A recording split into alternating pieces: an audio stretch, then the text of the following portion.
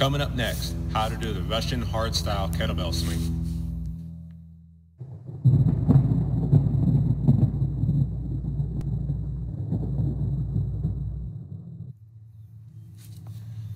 Hardstyle Russian kettlebell swing. What is that? That's a kettlebell swing where it's characterized by a, a strong hip snap and letting the kettlebell come up to approximately chest height and then back down. There are other types of swing, such as the American swing, or also known as the CrossFit swing, where the hands go above head. But today I'm going to show you this particular style because it's safest for your shoulders and it's easiest to learn. So one thing I do want you to remember whenever you're practicing kettlebell swings or any movement with kettlebells that involves some sort of a swinging movement, don't swing the kettlebell towards people and don't try and contend with the space of the kettlebell. In other words, if you begin to lose the kettlebell, let it go. Make sure that you always try and practice the swings or do the swings somewhere where you don't mind the kettlebell landing or falling on the ground. We'd much rather have a story about you chipping the floor of the bay with a kettlebell by dropping it than having a story of the one time you threw your back out trying to catch that 24 kilogram kettlebell during a swing. So with those things in mind, let's get started. Okay, so we need to remember that in a hard style kettlebell swing, is characterized by hip, hip hinge movement, not a squatting movement. And that would be one of the faults that I see most often with a kettlebell hard style swing. Some folks might think that they are doing a regular swing, but really they're kind of doing like a squat swing. And we want to characterize this movement by a hip hinge movement, such as what we've learned for doing uh, deadlifts or a uh, Romanian deadlift that has a minimal bend in the knee. So we want to make sure that we remember when we do these swings, we're looking to reach back, not down with our hips. This is a posterior chain building movement from the from your traps all the way down through your hamstrings. So we want to remember that we're always hinging back, minimizing the squat or the bend in the knees to minimize the squat stance, and then snapping back up. So what can we do to make sure that we have a good movement is to make, think about trying to reach for the wall behind us as far as we can before falling over. So this is the first movement we need to understand for the kettlebell swing, is to reach back. The next movement we need to understand for our lower body is to snap. Think of almost jumping through your heels. We want to jump through our heels, squeeze our glutes, and then squeeze our core. If we do those two things, that'll prevent us from hyperextending in the front, reducing the chance of a lower back injury from over uh, overextending, hyperextending into our low back region here, or this ex excessive flexion here in the lower back. So we want to make sure we reach back as far as we can, and when we come back up, we're squeezing, pulling through our heels, standing straight up, and embracing our core as if we were going to be doing a plank in the midair, or bracing ourselves for a punch in the stomach. That way we brace ourselves, that prevents us from hyperextending our hips. That helps protect us. Something else we need to remember when we're in the swinging motion with our arms. This is not an arm lifting movement. We are not trying to take a kettlebell and then lift it with our arms. We're letting the weight of the bell and the momentum swing the arms up to whatever height they end up at. And then as it comes down, that's where we activate our lats to bring the kettlebell back between our legs to start the next swing. In order to protect our shoulders, we want to make sure that we don't extend and roll our shoulders forward, but we want to stand strong and proud and keep our shoulders back. We can work on that by thinking about pinching a piece of paper behind our armpits here. So when we come down, almost like we're trying to bend the kettlebell, if we were using two hands, that helps pinch our shoulders down and back a bit, and that protects us from overextending our shoulders, thereby rounding out and then exposing ourselves to potential shoulder injuries. If we keep those things in mind, we'll minimize any chances of any injuries for this. So to get started, our setup, we'll have a bell in front of us. We'll take a small step back. Shoulders are going to be shoulder width, or feet will be shoulder width apart or slightly wider. we're going to push our hips back and reach for the bell. Now you will see I have to extend here to reach for it due to obviously my height. But that's just for the first setup. After that, we're going to tack our shoulders back once we go the, uh, into the swing. The first movement is called the hike. It's just like hiking a football. Familiarize yourself with this movement first before we move on. And a hike would look something similar to this. Push my hips back, I start squeezing into my shoulders here, back, and put it back down. We just hike it as if we're trying to throw the kettlebell behind us. And that's all we're doing, is getting used to that movement. We try to keep our hips back best we can.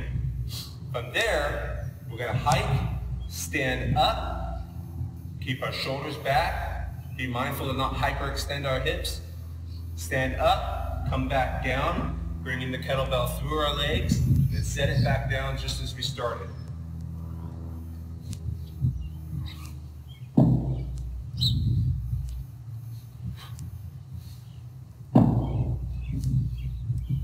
One thing I want to talk about here is our breathing pattern.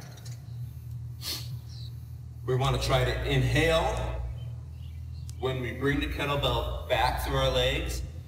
Exhale when we come up.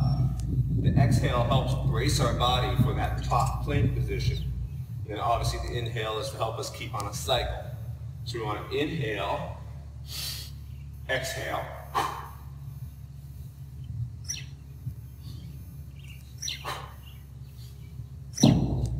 So once you get that motion going, we're ready to do continuous swings.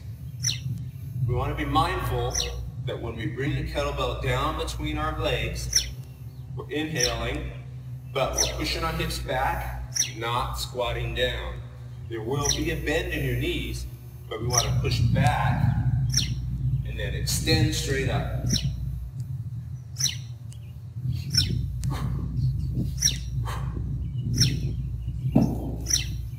And we would just continue with that, adding uh, reps, going two, three, four, following that pattern.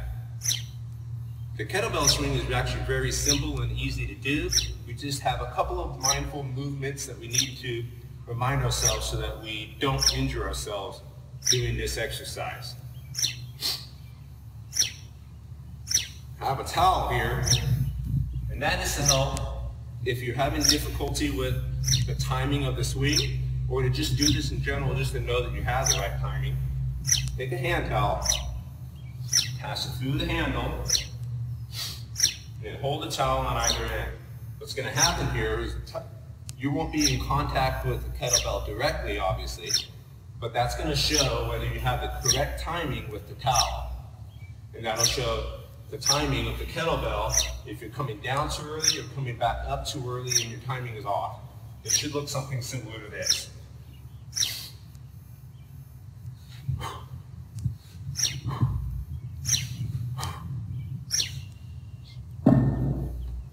You notice that the kettlebell stayed smooth and in line with the towel the whole time. If you have something like this, then you know your timing is a bit off.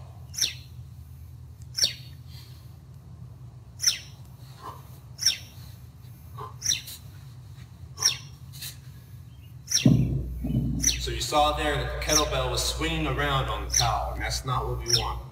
That was, my timing was off with the swing of my body, and when they're out of sync, that's going to lead you to imbalances during the swing and potential for injury. So that's a good one to do, especially when you're trying to start out learning how to do this, is to get your timing down using that towel swing. I hope all that was helpful. That was really quick and fast. There's lots of videos on YouTube on how to do this particular swing. Just remember, this is not a squat movement. It's a hinge movement. And it's not an arm workout for lifting. We want to let the hips pop, let the kettlebell come up to where it's going to go. And then as soon as it starts coming down, you can activate your lats, pull the kettlebell back through your legs, they start the motion all over again. I hope this is helpful for you, and keep your eyes open for another kettlebell uh, video later on for some other movements. Okay guys, a couple of things I didn't mention during the video that I wanted to make sure I touched on. One was footwear. In this video I was wearing socks. You almost always want to try and do kettlebell swings barefoot or in socks, or if you're going to wear shoes, some sort of like CrossFit style shoe that has minimal padding so you can really feel the ground as you move. One of the benefits of the kettlebell swing is that when you start swinging, your feet will tend to start trying to grip at the ground and it helps build your feet and your arches. So I would really recommend that you don't wear any running shoes or athletic wear. If possible, do it in your socks or barefoot. Grip. I didn't talk about grip on the kettlebell. We don't want to death grip the kettlebell when we're swinging. We want to have a, a firm but loose, if that makes sense, grip to let the kettlebell move in our hands. That will reduce the amount of blistering and tears in our hands if you start doing more and more reps.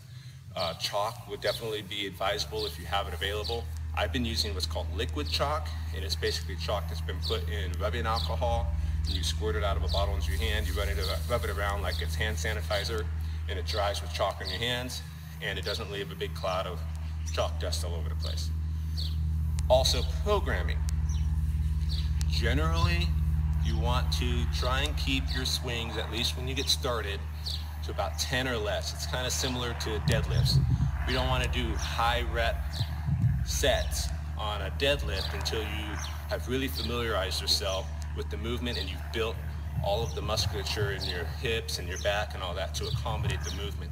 Same thing with the swing. We want to make sure that we build our lower back and our hip structure and our shoulder structure before we start moving into higher rep stuff. This is a aerobic conditioning type movement that's very muscular endurance based because you have the weight.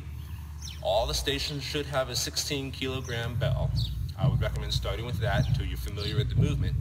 And then you can start moving into 24 kilogram bells. And I believe all the stations should have one of those as well. I would recommend maybe 10 sets of 10 or five sets of 10 reps, uh, taking a break as long as needed to start, and then you can work into every minute on the minute. You can do that as a finisher, a warm-up, a main workout, lots of different ways to do it. If you have any questions, get a hold of me. I can give you some other programming ideas. And obviously, if you have any uh, needs for assistance on working on this wing and making sure that you're doing it right, you can take a video of yourself, send it to me, or we can make arrangements. I'll come out to the station and help you, help you out. All right, I hope this was helpful and enjoy.